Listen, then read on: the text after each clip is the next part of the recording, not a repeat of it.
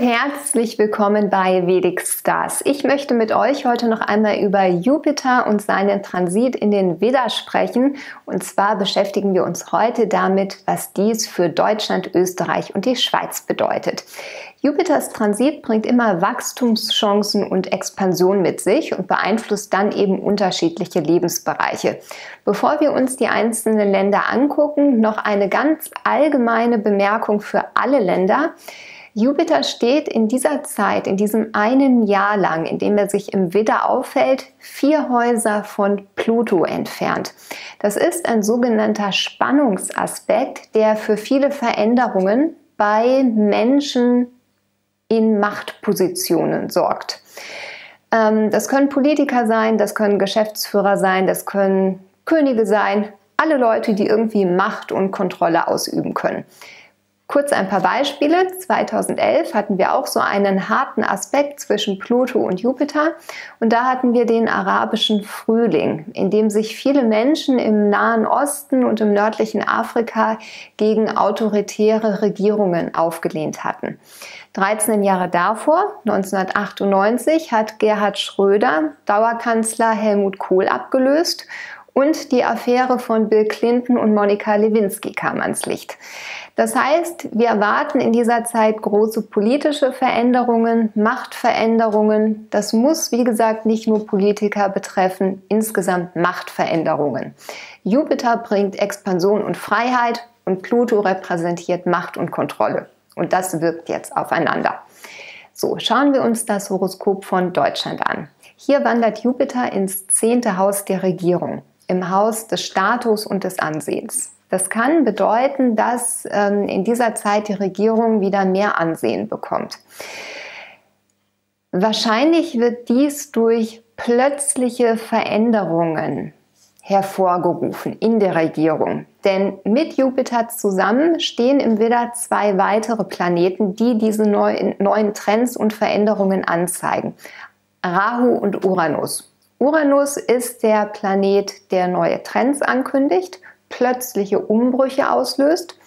Und Rahu ist der nördliche Mondknoten und der zeigt immer an, in welchem Lebensbereich wir Veränderungen erleben. Dort gibt es die größten Wandlungen. Das könnte bezogen auf die Regierung bedeuten, dass es entweder neue Gesetze gibt, die von der Bevölkerung positiv aufgenommen werden. Es kann aber natürlich auch heißen, dass die Regierung sich an sich verändert, sich also Personalien ändert, was dann von der Bevölkerung begrüßt wird. Das kann man leider nicht herauslesen. Allerdings wird dies, dies nicht ohne Streitigkeiten oder Konflikte vonstatten gehen. Denn Jupiter herrscht im Deutschlandhoroskop über das sechste Haus der Streitigkeiten, Rechtsstreitigkeiten und Prozesse und steht im zehnten Haus der Regierung. Das heißt, es sind auf jeden Fall Konflikte angezeigt, vielleicht auch Gerichtsprozesse für die Regierung.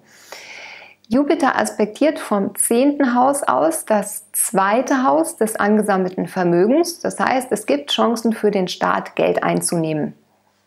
Außerdem zeigt Jupiter an, dass sich die Regierung wieder viel um benachteiligte Menschen kümmern wird. Jupiter aspektiert vom zehnten Haus aus nämlich das sechste Haus im Deutschlandhoroskop. Und das sechste Haus repräsentiert nicht nur Konflikte, sondern auch Dienstleistungen und Menschen oder Personen, die Hilfe brauchen. Und Jupiters Aspekt zeigt deshalb an, dass sich Deutschland in diesem Bereich engagieren wird. Im Horoskop von Österreich steht Jupiter ein Jahr lang im neunten Haus. Das neunte Haus repräsentiert alles, woran wir glauben und das Rechtssystem in einem Land, die Legislative. Zunächst sorgt Jupiter hier erstmal für eine optimistische Grundstimmung. Die Menschen in Österreich werden Gerechtigkeit und moralisches Verhalten immer mehr schätzen. Für die Legislative sind hier neue Rechtsprechungen angezeigt, die sich von der bisherigen unterscheiden. Denn Jupiter steht zusammen mit Uranus und Rahu im neunten Haus. Und Uranus zeigt neue Trends an und Rahu zeigt Veränderungen in einem Lebensbereich an. Und mit diesen Veränderungen können auch große Umbrüche im ganzen Land verbunden sein, weil Jupiter nämlich über das achte Haus der großen Wendungen, Transformationen regiert. Ähm, und Jupiter aspektiert zusätzlich das erste Haus von Österreich, das das ganze Land repräsentiert. Also das wird schon große Auswirkungen haben. Es kann zudem gut sein, dass sich die Banken in diesem Jahr verändern werden, speziell was spekulative Geldanlagen betrifft. Jupiter aspektiert vom neunten Haus aus das fünfte Haus der spekulativen Geldanlagen und in diesem fünften Haus steht im Geburtshoroskop Rahu. Jupiter triggert Rahu jetzt und sorgt damit für Veränderungen in diesem Bereich. Das könnte auch Vergrößerung und Ausweitung von spekulativen Geldgeschäften bedeuten, denn sowohl Rahu als auch Jupiter stehen für Expansion in der vedischen Astrologie. Im Horoskop von der Schweiz wandert Jupiter ins sechste Haus der Dienstleistungen, Konflikte und Gerichtsprozesse.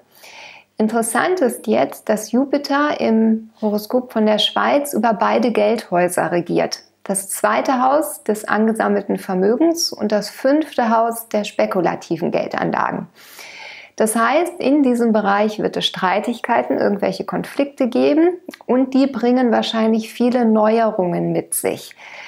Denn Jupiter steht gemeinsam mit Uranus und Rahu im sechsten Haus. Und Uranus setzt die neuen Trends und Rahu bringt Veränderungen und beeinflusst damit eben diese Finanzhäuser. Es kann auch bedeuten, dass man anders mit Geld umgehen wird und das durch technologische Veränderungen herbeigeführt wird. Denn Rahu und Uranus repräsentieren beides, beide moderne Technologien, was eben auf den Finanzsektor jetzt einwirkt. Was das sein kann, keine Ahnung. Jupiter wandert über zwei Planeten im sechsten Haus der Schweiz. Uranus und Pluto stehen dort im Geburtshoroskop. Und Uranus zeigt, wie gesagt, plötzliche Veränderungen und neue Trends an. Und Pluto repräsentiert alles, was mit Macht und Kontrolle zu tun hat oder Macht und Kontrolle ausübt. Und wenn Jupiter jetzt über diese beiden Planeten läuft, dann deutet das darauf hin, dass sich Machtverhältnisse ändern, Kontrollfunktionen ändern in der Schweiz und daraus neue Dinge entstehen. Das kann die Regierung betreffen, muss aber nicht. Das kann auch alle anderen Personen in Machtpositionen betreffen. Das war meine kleine Länderanalyse für den Transit von Jupiter ins Zeichen Widder. Wenn es euch gefallen hat, gebt mir gerne ein Like, abonniert meinen Kanal und ich freue mich auf das nächste Mal.